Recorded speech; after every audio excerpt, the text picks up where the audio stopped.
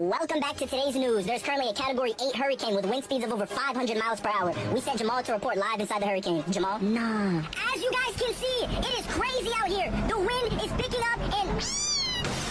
Nah, that cat dead. So Jamal, how's the weather out there? Nah, jit, tripping. What you mean, how's the weather? I'm in a hurricane. Can I go home, please? Nah. So Jamal, is it sunny out there? Like, what's going on? Bro, it's a hurricane. Can I go home, please? So would it be a nice day to go to the beach or what? Nah, jit, stupid. Bro, can I please go home?